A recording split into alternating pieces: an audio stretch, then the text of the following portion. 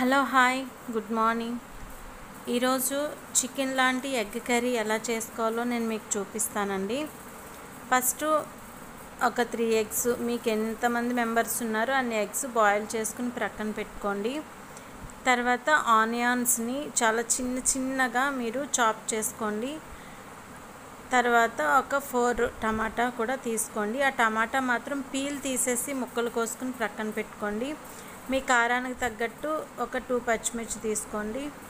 తర్వాత ఒక ప్యాన్లో ఆయిల్ పోసుకుని దాంట్లో పసుపు కారం కొంచెం సాల్ట్ వేసుకొని ఆ ఆయిల్ కొంచెం కాగిన తర్వాత ఈ మూడు వేసుకొని మనం ఎగ్స్ని అక్కడక్కడ డాట్స్ పెట్టుకొని నెమ్మదిగా మూత పెట్టుకొని వాటిని ఫ్రై చేసుకోవాలండి. దూరంగా కొంచెం దూరంగా ఉండి ఫ్రై చేసుకోండి. మీద పడుతుంది.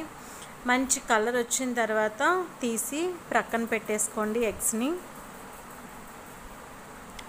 ఈ పెట్టేసుకున్న ఎగ్స్ని ఏం చేస్తారంటే ఇప్పుడు మనం చికెన్ ఎలా అయితే మనం కలుపుకుంటామో అన్నీ వేసి అలానే ఇక్కడ కూడా అల్లం వెల్లుల్లి పేస్టు సాల్టు కొంచెం పసుపు అలాగే మీకు తగినంతగా కర్రీ మీరు ఎంత అయితే కారంగా తింటారో అంత కారం వేసుకోండి. తర్వాత ఒక టూ స్పూన్స్ ధనియాల పౌడర్. తర్వాత ఒక త్రీ టేబుల్ స్పూన్ వరకు కర్డు వేసుకొని ఆ మొత్తం ఆ మసాలా అంతా కూడా మీకు కావాలంటే చికెన్ మసాలా పౌడర్ ఉంటుంది కదా అది కూడా వేసుకోవచ్చు. కొత్తిమీర వేసుకోవచ్చు. మెంతు పుదీనా కూడా వేసుకోవచ్చు అండి నా దగ్గర అవి లేవు కాబట్టి ఆకుకూరలు నేను వేయలేదు. ఇవి వేసుకొని చక్కగా ఎగ్స్కి పట్టేటట్టు ప్రక్కన పెట్టేసుకోండి.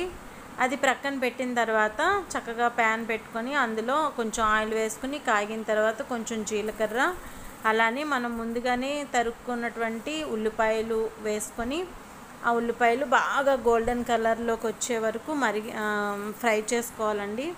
చూసారా? ఇలా రావాలి. ఇలా వచ్చిన తర్వాత మనం ఇందులో ఇంకా అల్లం వెల్లుల్లి పేస్ట్ వేయనవసరం లేదు. ఎగ్స్లో వేసుకున్నాం కదా. అంత బాగా వచ్చిన తర్వాత ఆ పీల్ తీసేసినటువంటి టమాటాలని చిన్న చిన్నగా మీరు కట్ చేసుకొని అందులో వేసుకోవాలి. టమాటాకి మాత్రం పీల్ తీసేసేయండి పీల్ ఉంచొద్దు. ఆ టమాటాలన్నీ అందులో వేసేసి సిమ్లో పెట్టి చక్కగా మూత పెట్టేసి బాగా మగ్గించుకోండి. టమాటా అంతా కలిసిపోవాలన్నమాట. చూస్తున్నారు కదా ఇలా బాగా కలిసిపోయిన తర్వాత ఇందులో కొంచెం సాల్ట్ తక్కువ అవుతుంది అనుకుంటే మీరు సాల్ట్ వేసుకోవచ్చు. దాని తర్వాత మనం ముందుగానే కలిపి పెట్టుకున్నటువంటి ఎగ్స్ ఉన్నాయి కదా ఆ ఎగ్స్ని నెమ్మదిగా ఒక్కొక్కటి ఒక్కొక్కటి ఇందులో వేసేసుకుని ఆ ఎగ్స్తో పాటు ఆ కలుపుగా ఉన్నటువంటి గ్రేవ్ ఉంటుంది కదా దాన్ని ఆ పేస్ట్ని కూడా వేసేసి మళ్ళా మనం ప్రత్యేకంగా వాటర్ని ఏమీ వేయనవసరం లేదండి. అదే అలాగే నెమ్మదిగా మగ్గిపోతుంది. ఒక త్రీ మినిట్స్లో ఆల్రెడీ మనకు అన్నీ ఉడికిపోయినాయి కాబట్టి జస్ట్ ఆ మసాలా కలవటం కోసం అంతే. త్రీ మినిట్స్ తర్వాత మనం తీసేస్తే మన కర్రీ అయితే రెడీ అయిపోతుందండి. మన కర్రీ అయితే ఇప్పుడు రెడీ. ఫైనల్గా చక్కగా పచ్చిమిర్చిని అలా కట్ చేసి వేసుకుంటే చూడ్డానికి అందంగా ఉంటుంది. మన చికెన్ లాంటి ఎగ్ కర్రీ రెడీ అండి. ఈ వీడియో మీకు నచ్చిందా?